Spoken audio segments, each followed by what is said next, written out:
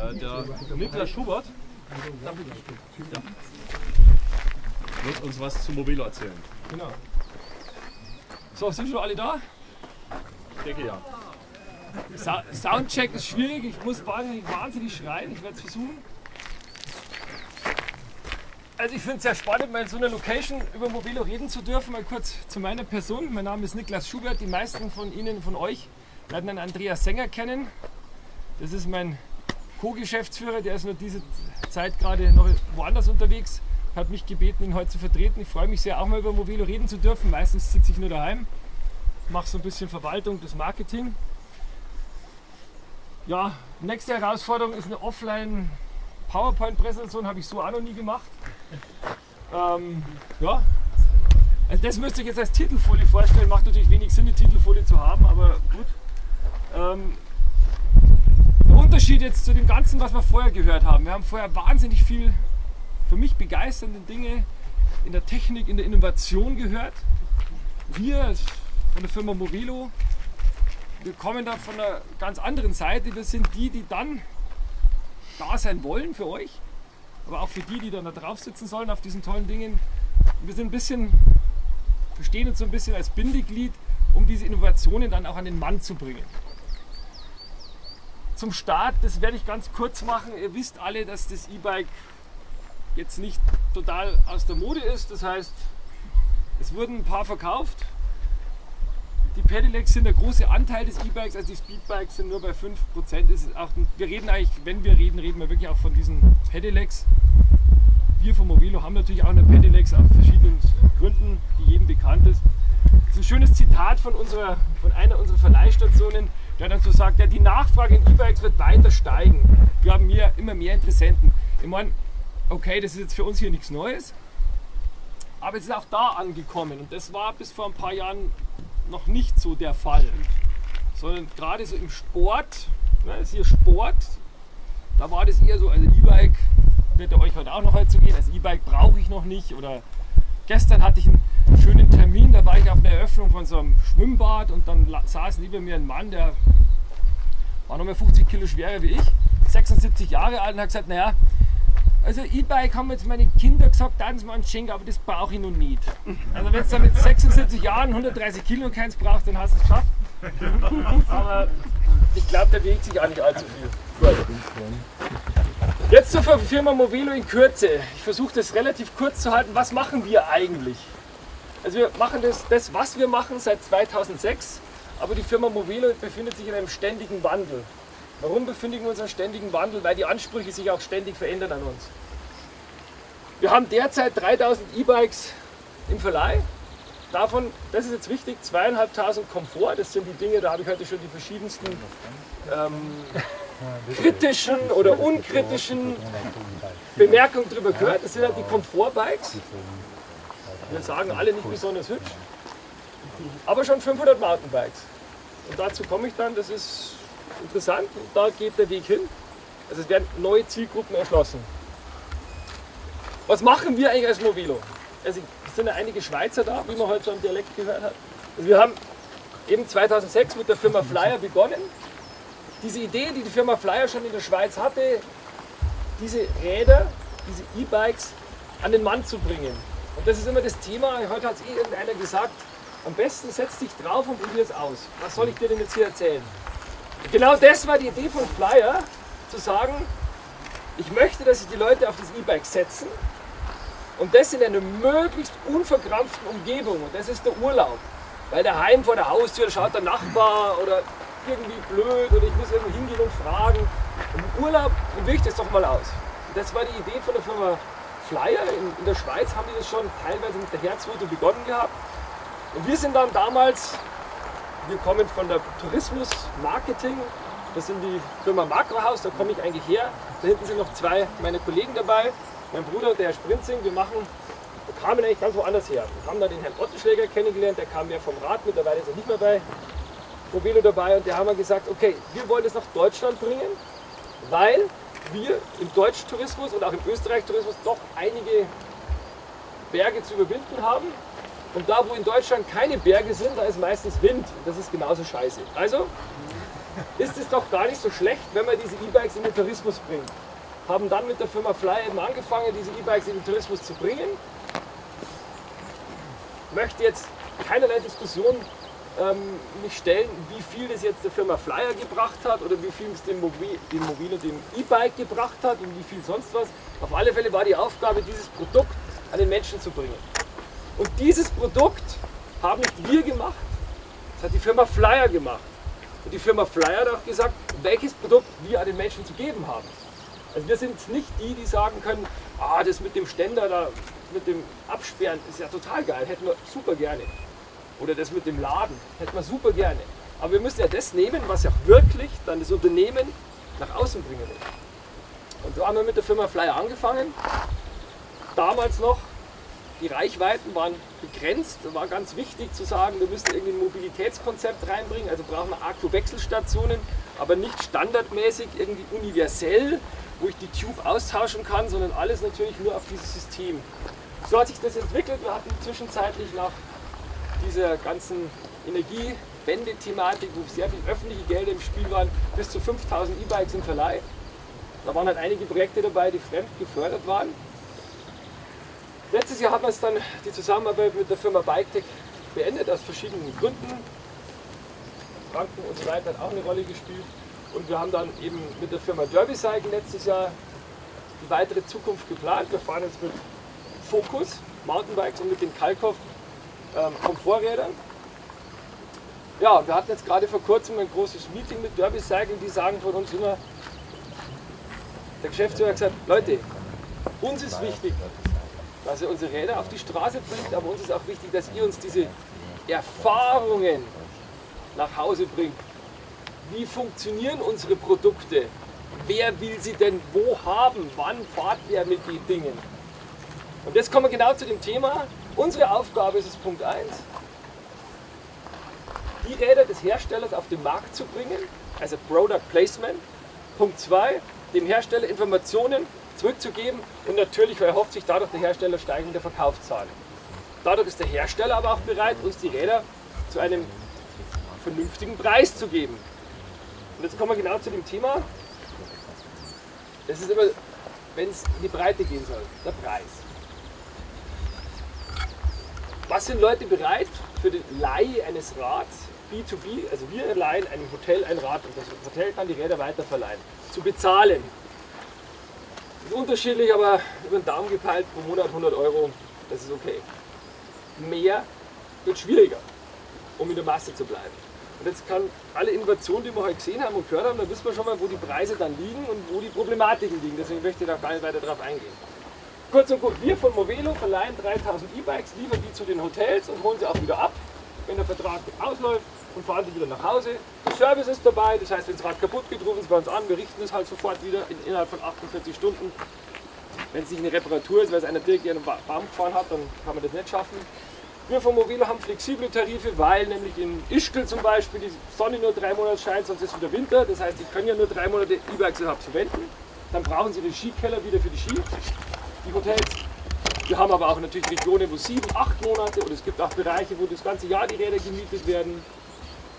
Der Tourismus dehnt sich jetzt aus Richtung ähm, anderen Themen, die wir noch überhaupt nie so im Blickfeld hatten, Kreuzfahrten und so weiter. Komme ich aber dann noch dazu.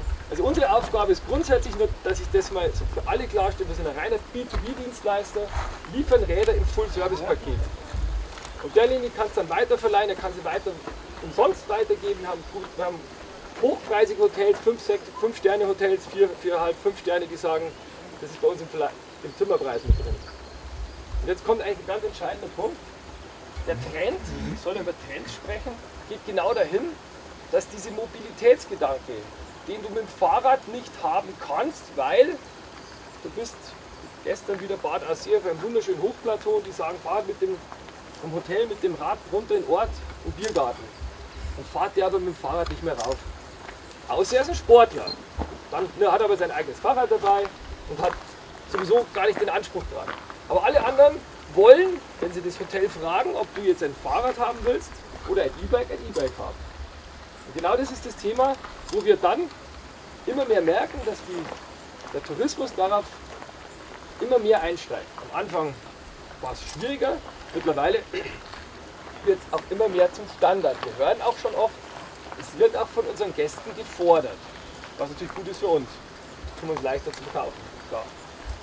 Also ich habe schon gesagt, wir brauchen ganz flexible Tarife. Wir haben derzeit 46 verschiedene Verleihtarife, dass ich mir ungefähr vorstellen kann, was das auch für ein Managementaufwand ist. Also über Monate, Pakete, wie auch immer, weil sonst kriegen wir die Räder nicht raus. Wir haben über 800 Verleihstationen zu managen. Wir haben einen riesen Logistikaufwand. Wir haben Verleihstationen in Deutschland, Österreich, Frankreich, Italien. Dazu kommt jetzt Kroatien, ganz wichtige Anfrage UK, also England, Spanien, Portugal, ist alles am Kommen. Also Internationalisierung seit letztem Jahr extrem. Also diese Anfragen explodieren fast schon. Das heißt, diese ganzen Gebiete, wir kennen von Italien zum Beispiel Adria oder so, die ganzen Hotelgebiete da, die kommen jetzt alle langsam, schlagen sich hier bei Mobilo auf, das hätten wir auch gerne. Das heißt, da passiert einiges. Das ist natürlich für den Hersteller wieder interessant, für die Firma Derby Cycle, die sagen kann, okay, Markt in Portugal, da können wir, da wollen wir was machen, oder da wollen wir nichts machen, dann sagen wir, braucht jetzt wir wollen mehr, dass ihr nach Holland geht oder wie auch immer. Das heißt, da hängt auch wieder die Industrie dahinter, die uns auch sagt, wo möchte ich mich denn mit euch platzieren. Also wir können das jetzt nicht total frei entscheiden. Ja, derzeit haben wir 200 Ladestationen im Betrieb. Wie wichtig die sind oder nicht wichtig die sind, das komme ich dann noch bei der Folie. Das ist ja das Schöne bei der Offline-PowerPoint, da kann man hin und her spielen. ähm, Hauptaufgabe, wurde ich heute gefragt, schon mehrmals von Movelo, ist zum einen die komplette Verwaltung dieser ganzen Vertragsthematik, zum anderen die Logistik, also wirklich die Räder hin und her zu bewegen. Und wie funktioniert das System? Das ist eigentlich ziemlich einfach. Wir haben seit diesem seit der Zusammenarbeit mit Derby Cycle die regionalen Fachhändler im Boot. Das war mit der Firma Flyer ein bisschen schwieriger. Und dann ist es im Prinzip so, die Räder kommen zu dem Hotel, werden über, über Fachhändler serviciert vor Ort, werden dann wieder vom Fachhändler auch abgeholt, wieder hingeliefert und dann nach einer gewissen Zeit in den Gebrauchtmarkt verkauft. Das ist die Optimallösung, aber überall da, wo es keinen Fachhändler gibt, das ist leider noch in vielen Bereichen, macht das dann Movelo. Und das ist unsere physische Leistung. Die Logistik, das Hin- und Herfahren und den Service von 3000 Rädern kann sich ungefähr jeder vorstellen, was bei uns in der Saison so los ist, nach einem schönen, nach einem schönen Wochenende, was dann zu servicieren ist. Ich habe letztes Mal hat man einen Anruf, irgendwer fahrt eh gerade mit einem Focus Mountainbike, das kennt jeder so, ich habe es heute schon mal erzählt, hat man einen Anruf, ja du, ich bin bergab gefahren und ich unten war, habe ich einen Akku verloren gehabt, das habe ich gar nicht gemerkt. Also jeder, der, mein, der meine Trinkflasche verloren hat, weiß, dass man das eigentlich schon merkt. Ja? Aber solche, solche Thematiken hast du tagtäglich, wo du sagst, ja, was ist eigentlich los mit dir? Aber solche Sachen passieren und mit sowas muss ich auseinandersetzen. Ja, über die Räder habe ich schon gesprochen. Thema Akkus. Als wir angefangen haben, um irgendwie Tourismus was auf die Beine zu stellen, war natürlich immer die Infrastruktur, es wurde heute schon gesagt, kommt nicht gut, wenn der auf sein Fahrrad steigt oder auf sein E-Bike steigt und losfährt und dann irgendwo hängen bleibt. Zum einen wichtig, wie schalte ich, wie, wie, wie bewege ich das E-Bike, in welchem Modus spielt, spielt eine große Rolle. Natürlich das andere, welche Steigungen jage ich es rauf, wie schwer bin ich, der da drauf setzt. Ne? Dann wissen wir auch alle, die mit Technik zu tun haben, ihr werdet es viel besser wissen wie ich. Die, Lebzeiten des, des eines Akkus machen auch viel aus. Wie lange ist er schon im Betrieb? Diese ganzen Themen erforderten damals unbedingt Wechselstationen einzurichten. Wechselstationen, wir haben das heute, wir, ja, bei deinem Vortrag war ja ganz klar, Akkus sind wahnsinnig teuer. Also Akku-Wechselstationen einzurichten ist finanzielles totales Desaster. Ladestationen einzurichten war damals noch relativ sinnlos. Punkt 1, weil die Ladezeit relativ lang war. Also du konntest einfach, und, und die waren so dringend nötig, dass du nicht sagen kannst, du, du musst einfach laden, sondern musst der wechseln, sonst kommt er nicht mehr weiter. Seit diesem Jahr sind wir unterwegs, die Akkus sind stärker geworden, also deutlich stärker, die, hohen, die Reichweiten sind da. Und seit diesem Jahr gibt es bei uns keine Wechselstationen mehr, sondern Ladestationen. Und da kommt dann natürlich diese ganze Thematik, die wir heute schon gehört haben. Wir haben ja auch schon oben bei unserem ersten Halt auch so eine universelle Ladestation gesehen. Das ist für uns tipptopp. Also wir von Mobile haben keinerlei Interesse daran zu sagen, es gibt nur mobile Ladestationen. Nein, nein. Wir sagen auch immer unseren Ladestationen, ihr kriegt von uns zwei Ladegeräte für einen ganz geringen Preis, da zahlen wir eigentlich auch drauf. Für unser System Aber besten ist, ihr habt noch andere Ladestationen, also, oder es gibt eben diese universelle Ladestation von unseren Kollegen hier von Bike Energy, die auch beide hier da sind. Und vielleicht gibt es auch mal den Standard. Das wäre für uns nur recht, also touristisch gesehen, wäre das absolut toll, wenn diese Region sich, die Reichweiten-Thematik nicht mehr da wäre. Weil der Gast tatsächlich König ist und der natürlich dann auch nicht so darauf achtet, wenn er selber mit seinem eigenen Radl fährt, dann sagt sich der, gut, das habe ich falsch gemacht und fahre wieder nach Hause. Wenn er sich ein Rad ausleiht, dann ruft er im Hotel an und sagt, ich möchte. Das ist eine Problematik. Also wie gesagt, wir haben aber hier zum Beispiel wieder eine Kundenstimme. Wir haben jetzt nach der Testphase, also glaubt haben das uns nicht, nach der Testphase mit den neuen Rädern festgestellt, dass es ganz gut ohne Zusatzakkus funktioniert. Dauert. Also, weil alles, was wir heute gehört haben, totale Innovationen, aber in den Köpfen der Leute geht es schon noch ein paar Jahre immer hinterher. Ja? bis die dann auch glauben, dass es so ist. Und genau dafür ist Movelo da. Wir stellen dann die Räder zu den Hotels hin. Die Leute müssen es oder dürfen es ausprobieren, dann glauben sie auch, dass das Ding 100 Kilometer hält, weil sie es selber ausprobieren können. Ein weiterer Trend, ganz klar dieses Jahr, ohne dass wir auf unserer Website oder irgendwo das groß verkünden würden, ist das Thema, wir nennen es für uns ist ein Poolpartner, also Pool aufzubauen für zu einem bestimmten Termin, für einen festen Zeitraum eine Anzahl von E-Bikes. Schaut mal, mit was ihr heute rumfahrt. Für einen bestimmten Termin, für eine feste Anzahl von E-Bikes zu haben, weil nämlich hier heute diese Veranstaltung ist. Das geht normal nicht, dass du im Juli sagen kannst, ich brauche 40 E-Bikes. Da sagt ja der Händler ja, Der Hersteller sagt dir vielleicht, ja, wir haben vielleicht in der Lagerhalle hinten welche auf Tour. Logistik, das wird für mich ausliefern, dann wieder zurück und wieder servicieren.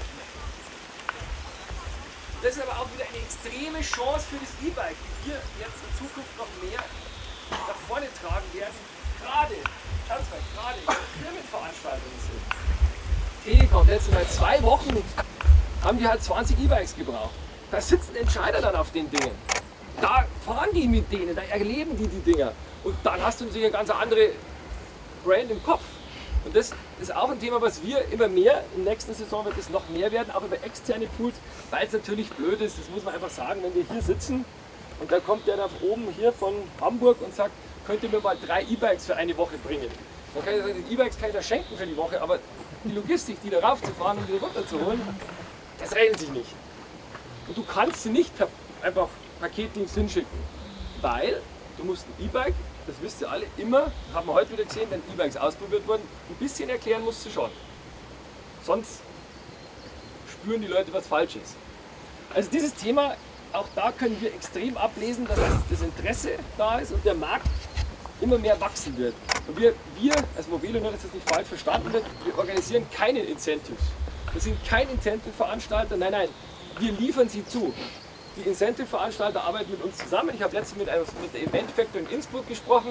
Der hat gesagt, ich bin so froh, dass es jetzt diese E-Bikes in der Qualität gibt, weil jetzt kann ich Gruppen in bisschen kubiertes Gelände bewegen. Früher war immer die Problematik, ich habe 20 Leute, die einen schießen da oben schon bei der Alm raus und sagen, was ist los? Und der andere steht immer noch unten. Und ich kann die Gruppe nicht führen in meinem Event. Und das ist jetzt das Thema, sagt er, mit E-Bikes ist es möglich da haben alle, haben wir heute gesehen, ein ähnliches Leistungsniveau. Gut, dem einen oder anderen muss man leider hinterher helfen, aber grundsätzlich funktioniert es. Und genau deswegen ist es auch bei Events immer beliebter. Aber auch das ist wieder für uns alle hier, die mit dem E-Bike zu tun haben, eine große Chance, die Leute auf das E-Bike zu bringen. Und schließlich und endlich, wenn es neue Technologien gibt und wie gesagt, wir haben jetzt sagenhafte Sachen für uns als Nicht-Techniker. Also ich bin absolut kein Techniker und schon gar kein Radlfahrer. Also dann, das ist nicht das Thema. Sondern unsere, unsere Mission ist eine ganz andere. Die Leute auf dieses geile Produkt zu bringen. Ja, da bin ich jetzt beim letzten Punkt. Wir merken auch in dem anderen Bereich des Tourismus, also in dem Pauschalreisethema, also wo ich wirklich früher klassisch ins Reisebüro oder jetzt natürlich meistens Thema Internet gehe, wo ich aber ein E-Bike mit in mein Urlaubspaket integriert habe. Also nicht, ich fahre jetzt hier nach Tirol und in ein Hotel und fahre mal zwei Tage mit E-Bike. Nein, nein, sondern wirklich, wo ich sage, E-Bike ist mit gebucht, entweder individuell oder sogar mit geführten Touren. da merken wir auch, ich meine, der Markt hat noch Luft, das ist richtig, aber es hat 2010 waren es 2000 Buchungen, heute sind es 6000 Buchungen. Nur mal, um, doch jetzt nicht so schlecht. Busreisen wird kommen, das ist ein Markt, der ein bisschen langsam andreht, aber wenn er dreht, dann geht er los. Da arbeiten wir mit ähm, dem zweitgrößten oder größten Imkammer in Italien zusammen, die eben auch mit sechs Gruppen gestartet sind. Jetzt sind schon neun Gruppen und das ist aber dann, wie es bei Movilo auch war, wir haben drei Jahre lang haben wir so, also angefangen mit 30 E-Bikes, dann waren es 40, dann waren es 100, dann waren es 1000 und dann waren es 3000. Also das kommt schon und das wird hier auch so sein. Das heißt, das E-Bike wird auch in diesem ganzen Thema Pauschalreise, Reiseerlebnis immer mehr Einzug halten, immer mehr eine Rolle spielen. Ja, wie gesagt, nachdem es jetzt nicht immer wieder verschwindet, hat es eh jeder schon im Blick. Man kann sagen, Punkt 1, es wird internationaler, die Länder rund um uns herum werden aufmerksam drauf. So Hotspots wie Venedig, solche Geschichten, kommt auch zu dem Thema. Wir müssen uns auch für die alle aufstellen, weil einfach bei 300 Rädern, 500 Rädern nach Portugal zu liefern, ist manchmal nicht so intelligent, weil die fahren auch wieder zurück irgendwann. Dann neun Zielgruppen ist eindeutig, Mountainbikes sind extrem gefragt. Wir haben dieses Jahr definitiv kein Mountainbike mehr. Wir, können, wir hätten noch mindestens 300 Mountainbikes mehr verleihen können. Also die Zielgruppen ändern sich, die Mountainbikes sind im Kommen, extrem. Dadurch, das zeigt uns auch, wo es hingeht. Vielleicht noch eine Ergänzung meinerseits. Es ist so, dass wir auch merken können, dass die, die es, es, findet eine gewisse Konzentration statt. Also früher war, die, war mit Abstand, was ich 95 Prozent unserer Stationen hatten zwei E-Bikes. Jetzt ist es eher so, dass sie schon auf vier sind. Ja, vier weniger, aber die haben dann mehr. Und sobald wir das geschafft haben, können wir auch dem Thema der unterschiedlichen Typen mehr Rechnung tragen. Also derzeit hat Movelo 2, also den, den Focus, Chariva Mountainbike und das Kalkoff. Natürlich gibt es noch viele andere, wir haben ja heute über Rahmen, Geometrie und was ich alles gesprochen, ähm, Möglichkeiten, nur das funktioniert nur dann, um das Angebot ein bisschen breiter aufzustellen, wenn der, wenn der Verleiher auch sechs oder acht Räder hat, weil wenn er nur zwei Räder hat, dann, dann gibt immer nur die, die, ich sage mal, die schwächste Zielgruppe vor. Die schwächste Zielgruppe ist die, die mit dem Tiefeinsteiger fährt. Ist so, können wir nichts anderes bieten. Da geht aber auch in Zukunft, werden wir das, die Produktpalette durchaus ein bisschen breiter aufstellen, wenn man so unserem Hersteller glauben kann. Da wollen wir hin. Wie gesagt, diese ganz flexiblen Tarife, ganz neue Regionen, Madonna, Di Capio, also alles Dinge, die früher nicht einmal annähernd an irgend sowas gedacht haben, kommen übers Mountainbike, übers E-Mountainbike in den Betracht. Da hast du dafür nur zwei Monate Sommersaison. Das ist halt so. Genauso wie diese, diese ganzen Schiffreisen, Inselhopping in Kroatien und so weiter, die haben auch eine Saison.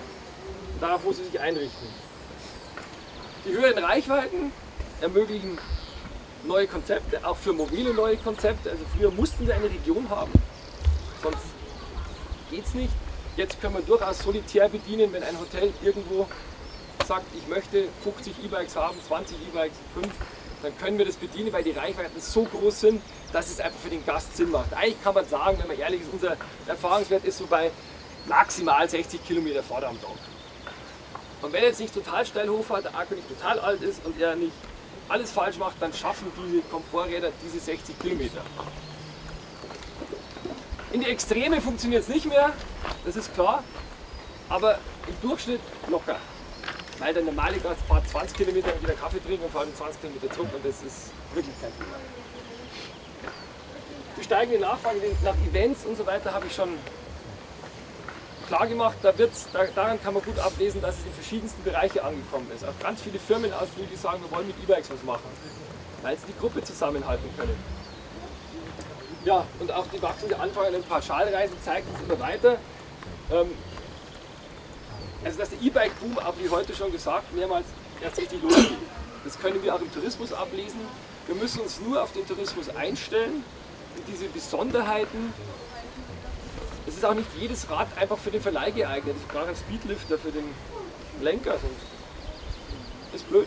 Und ich brauche auch ein Mountainbike bestmöglich ein Schloss, weil sonst ist es meistens weg. Also es sind so verschiedene Dinge, die da einfach dabei sind. Die man vielleicht am ersten Schritt nicht so bedenkt, aber wenn man diese Kompetenz hat, und die haben wir uns über Jahre aufgebaut, funktioniert das sehr gut. Wie gesagt, hier als die Kitzbüheler Alpen, Hotel Pieternhof, wir verzeichnen definitiv eine Zunahme an E-Bike-Anfragen. Unser gebuchter größerer Bestand, wir haben jetzt eben das aufgestockt, also mehr genommen wie die Jahre zuvor, an E-Bikes in der Saison 2015 zahlt sich aus. Also man sieht, auch im Tourismus ist das E-Bike noch lang nicht am Ende, da wird noch viel mehr gehen und wir als Movelo sind die und verstehen uns als die, die das dann, alle Innovationen, die ihr hier erfindet, möglichst an die Leute weitergeben, dass ganz viele das kaufen. Dankeschön.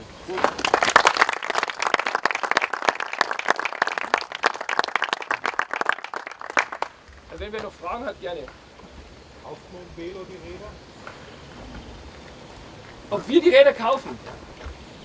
Muss man sich mal ausrechnen. 3000 Räder mal kaufen? Nein, natürlich nicht. Nein, das Konzept ist, der Hersteller gibt die Räder zur Verfügung für, einen, für uns einen Mietpreis. Auch. Also wir, wir zahlen eine, eine Nutzungsgebühr. Mieten, man muss immer aufpassen mit den rechtlichen Begriffen Mieten, Leihen, Leasen. Wir zahlen eine Nutzungsgebühr und die Räder bleiben im Eigentum des Herstellers. Macht ihr das exklusiv so mit Studiert Wir machen das.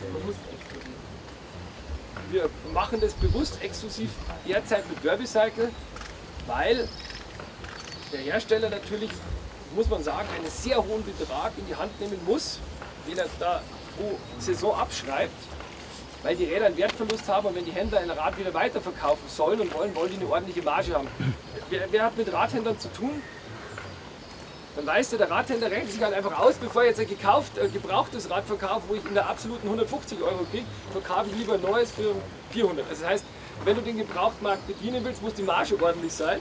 Damit verliert der Hersteller relativ viel Wertverlust über die drei Jahre. Und die muss er uns zum Teil, also wir finanzieren schon was back, abschreiben, sonst würde das ganze Modell nicht funktionieren. Und deswegen kannst du es nur mit einmachen derzeit, weil das Product Placement halt dann ihm garantiert ist. Unser Marketing, unsere Sichtbarkeit, das habe ich jetzt heute gar nicht gezeigt. aber wenn du Nachfragen nach 10.000 hast und Derby kann aber jetzt nur 6.000 liefern, hast du ein Problem. Also wir haben uns jetzt, glaube ich, derzeit den drittgrößten Fahrradhersteller der Welt oder so, Derbycycle, Ja, ja, gut, aber äh, rausgesucht. Also wenn wir so weit sind, wenn wir so weit sind, dass wir die Nachfrage, die Derbycycle liefern könnte, wir nicht mehr, also wenn wir mehr Nachfragen wie Derbycycle liefern können, dann die an. Ja. Ja, ja, aber wie du schon gesagt hast, es gibt ja bestimmt Kunden, bestimmt Kunden, die sagen, so, da ist jetzt Schluss, ja, gehen wir jetzt Jahr nicht. Das ist ein Vertrag für ein Jahr. Es liegt, nein, nein, das haben wir auch nicht. Es liegt an der Strategie. Also es liegt an der. Strategie. Es ist schon klar, dass wir jetzt nicht äh, total unabhängig sind von der, von der Entwicklung von diesem Unternehmen. Aber es sind Geben und Nehmen und wir können aber auch Markttendenzen erkennen. Wir merken schon, durch das, dass die Räder draußen sind und durch gewisse Tools, die wir haben, merken wir natürlich schon auch, was besser geht und was nicht geht. Wir sind Zusammenfinden und deswegen ist auch so wichtig, Hersteller und Movelo, wir müssen schon sehr nahe zusammenspielen, sonst ist die Geschichte nicht produktiv genug. Wie verkauft ihr denn oder wie verkaufen denn die Händler die gebrauchten Räder? Habt ihr da Informationen dazu, schon messbare jetzt mit Derby Cycle? Da ist es so, wer fahrt von euch so einen Kalkhoff oder so? Der Ja, hat ja ihr vorne, habt ja vorne das Ding das dran. kauf Ja. ich. Also, es gibt, jedes Medaille hat ja zwei Seiten. Die positive Seite, wir haben extreme kaufliche Anfragen. Also pro Tag 20. Okay. Aber die dürfen die Räder noch nicht verkaufen, weil Sie noch fahren. aus auch aus abschreibungstechnischen Gründen müssen sie erst mal ein Jahr alt sein, dass sie verkaufen darf als Gebrauchtrad. Das ist am Anfang im System, weil wir jetzt neu angefangen haben, ein bisschen ein Problem. Wenn das System mal rollierend ist, dann ist es einfacher. Momentan muss man halt da ein bisschen Kundenbefriedigung betreiben und schauen, dass das Und- halt irgendwie in der Waage sich hält. Wie fangt ihr das dann auf, wenn jetzt zum Beispiel ich als Tourist lese das, denke, hey, cooles Komfortbike äh, mit Rücktritt und was auch immer, fährt sich jetzt toll hier in Kitzbühel, ich will das haben. Dann sagt der Händler, sorry, kannst du noch nicht haben, muss ich erst abschreiben. Nein, der Händler macht gar nichts. Der Also es ist so. Das, wie Alle das Räder gehören, gehören Derby-Cycle, also Ja. der, der Mutter. Ja. Und das Ziel ist, ich meine, ich möchte jetzt nicht von der Ist-Situation sprechen, weil das jetzt die erste, Situation, äh, die erste Saison ist und da sind noch ein paar Sachen, die wir heute auch in der, in der Entwicklungszeit noch ein bisschen am Feinjustieren. Dann ist es so, dass es Ende zwei Situationen gibt. Die eine Situation ist ein Einheimischer, der hier das Rad fährt und sagt, ich bin hier. Und die zweite Situation ist also ein Tourist. Der wohnt ja vielleicht in Castrop Rauxel. Jetzt möchte der, gibt es wieder zwei Situationen, möchte er das baugleiche Rad oder möchte er genau dieses Rad. Und dafür gibt es dann eben die Prozesse bei uns. Das heißt, logistisch kann man sich vorstellen, dass es wieder ein Aufwand, je nachdem, was der will. Da gibt es eine Hotline und eine, eine Website dazu, da wird er seinen Wunsch formulieren. Es gibt bei uns in unserem Logistiksystem, wir haben ein eigenes Logistikmanagementsystem entwickeln müssen dafür, weil das ist schon ganz schön viel, man darf das nicht unterschätzen. Gibt es dann eine eindeutige Nummer und über diese Nummer können wir dann sagen, dieses Rad geht dort oder dort in den Verkauf und dann wird es über, die, über das Depot wieder sofort innerhalb von, wir brauchen zwei Tage, wieder nachbeschickt. Das Verkauft das Idee. Derby Cycle dann direkt oder über einen Händler? Der Derby sagt immer über die Händler. Über also die das Händler. ist genau der Punkt. Also jeder, der mit Händlern zu tun hat, wenn wir als Movelo ein Rad verkaufen würden Ja, klar. oder wenn Derby sagt direkt ein Rad verkaufen würde, dann wäre Krieg. Also dann wäre. Also das dürfen wir nicht machen, weil der Handel natürlich schon sehr Das heißt, wenn ich, Augen Hand, drauf guckt, was wir da machen, weil das ist natürlich immer so eine Geschichte.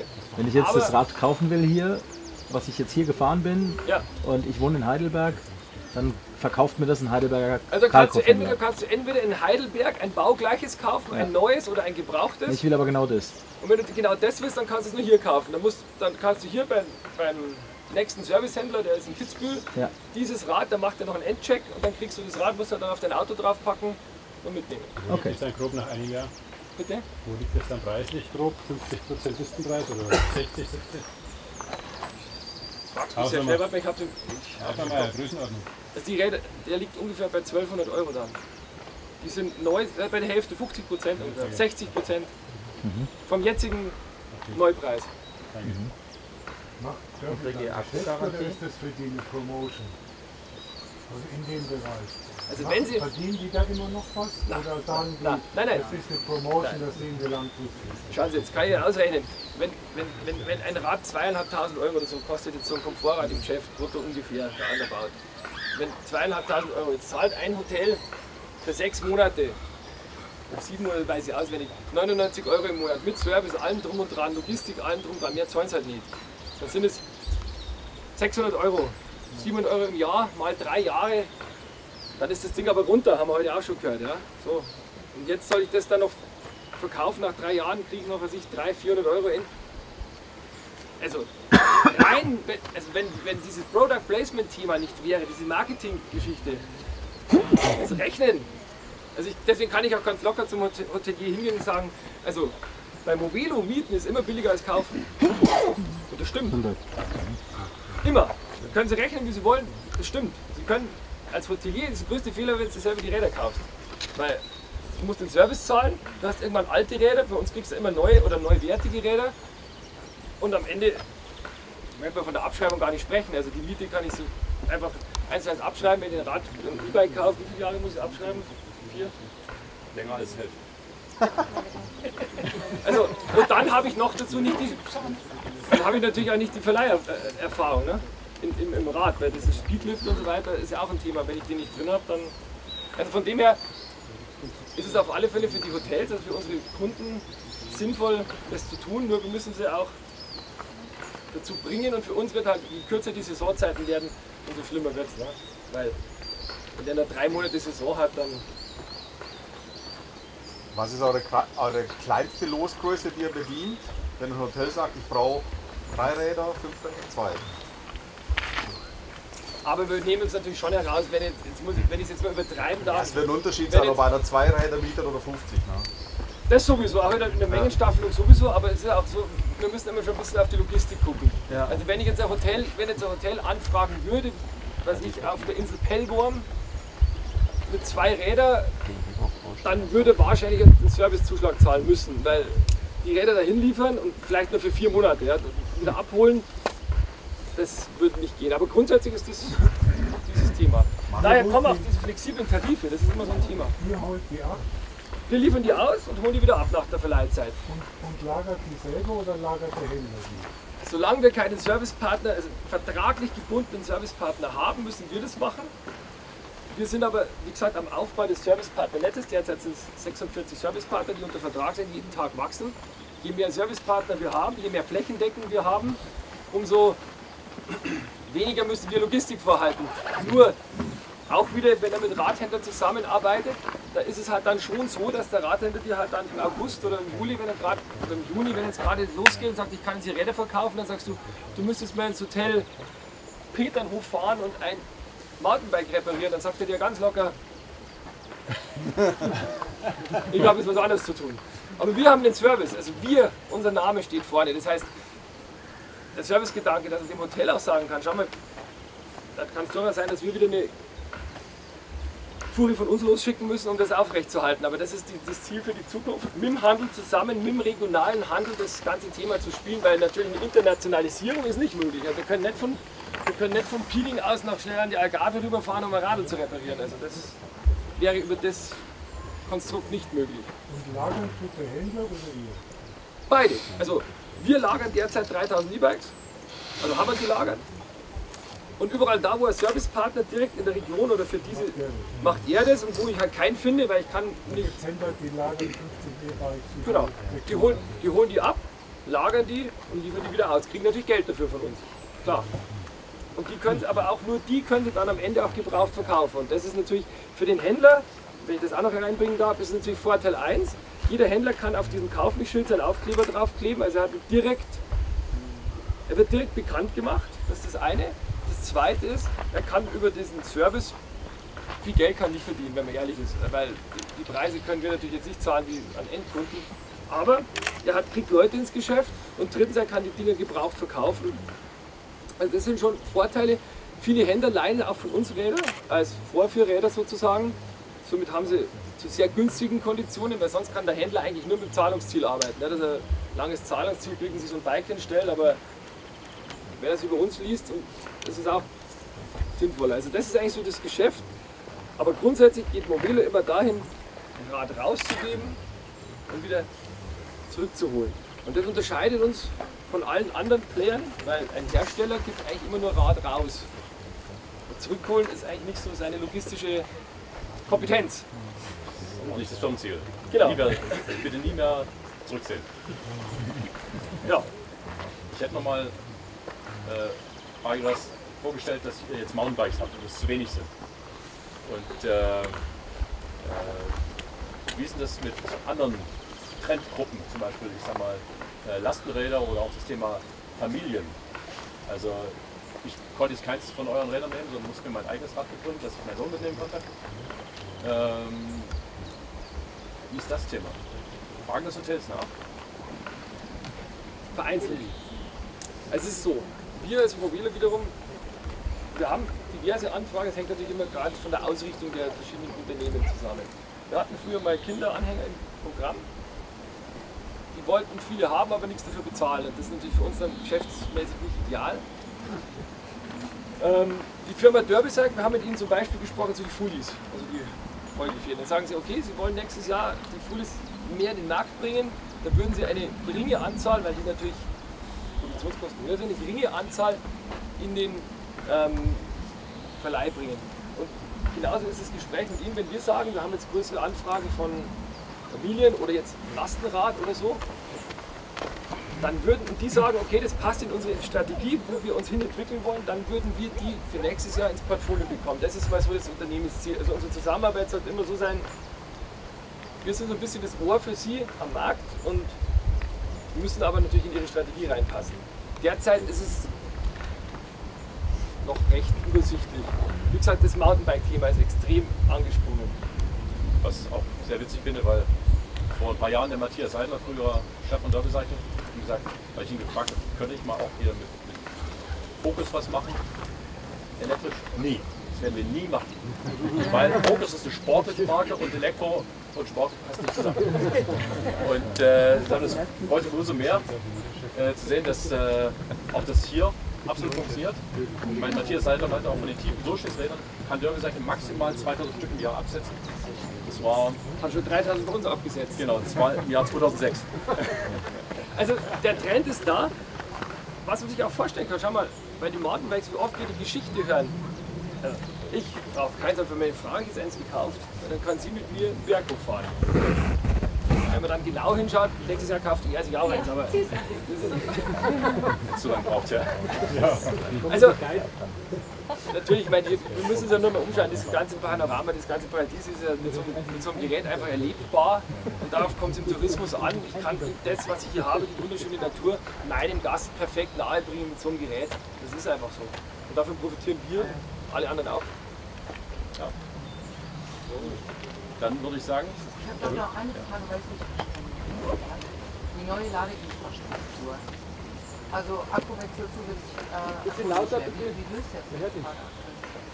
die, die. Also halt- grundsätzlich ist es so, dass die Leute dir ja nicht glauben, wenn du immer gesagt hast, du brauchst Wechselstationen, wenn du dann nächstes Jahr sagst, du brauchst keine Stationen mehr, dann sagen die, na, was ist mit dir los? Also hast du uns jetzt da irgendwas erzählt?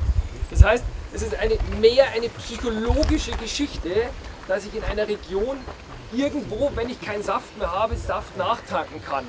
Und wir, wir argumentieren derzeit so, dass wir sagen, die Ladekurven haben sich ja auch so verändert, dass ich in relativ übersichtlicher Zeit, das heißt, wenn ich einen Kaffee trinke und einen Eisbecher esse, kriege ich wieder ein paar Kilometer rein in meinen Akku. Mehr möchte ich jetzt hier nicht dazu sagen. Ich werde nicht sagen 50 Prozent und 30 Kilometer oder sonst was, sondern es ist durchaus so, dass man in einer, in einer Zeit, wo man sich, wenn man Gast ist, wenn man Touri- Tourist ist, sich mal eine Pause gönnt, wieder ein paar Kilometer reinbringen in die Kisten. Deswegen sagen wir, wechseln brauchst du nicht mehr, sondern laden. Aber wenn du die Ladestationen trägst, durch diese, wie ich schon gesagt habe, guten Akkus, brauchst du sie fast nicht mehr. Also unsere Vision ist durchaus mit unseren Geräten, die wir, die fast neuwertig sind, das muss man dazu sagen, die Akkus haben schon sind neue Akkus, brauche ich eigentlich beim normalen Gast gar keine. Das heißt, du fährst am Hotel los mit vollen Akku und kommst abends wieder und hast. Schaut euch eure Akkus an. Also Ja, normal, ich bin ganz vorne. also Ne? Ich darf vielleicht eine ganz kurze Information diesbezüglich einbringen. Vielleicht ist das auch ein Thema, dadurch, dass wir eben diese Universal-Ladestationen entwickelt haben, was da oben am, See waren, äh, hat diese äh, Turbicycle und Fokus-Modelle, nicht, die werden da oben doppelt so schnell geladen als bei, mit dem normalen Heimladegerät. Und das macht natürlich einen Spaß, wenn die Leute da irgendwo unterwegs sind.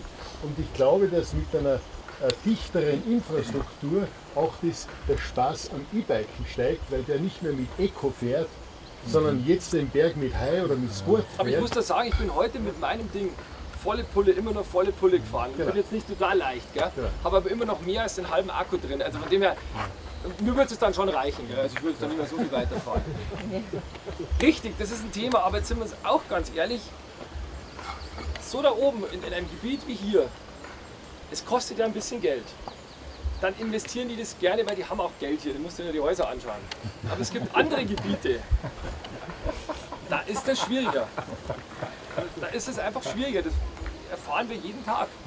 Und also wir, ich habe das schon immer gesagt, also wir, sind, wir verstehen es als, wir ste- wir verstehen es nicht unbedingt als Endkundenbrand. Das hat sich so entwickelt. Movelo ist total weit level. Wenn ihr geile Ladestationen habt, wir sind froh drum. Wir, wir- wir können es sowieso nicht. Wir haben auch gar kein Interesse dran. Wir müssen jetzt Ladegeräte kaufen, denen schicken und zahlen auch noch drauf. Also das bringt uns nur Ärger. Das heißt, wenn viele von euren Stationen rumstehen, dann ist es für uns tipptopp, wenn man sagen kann, Schatz, dieses Problem ist auch gelöst. Und noch schneller laden als wie mit unseren herkömmlichen Geräten. Also wenn wir da gemeinsam die Kommunikation aufbauen, wirklich total gerne. Für uns ist das, wie gesagt, wir schauen dann die Räder dahin bringen. Alle anderen Fragen machen wir heute Abend.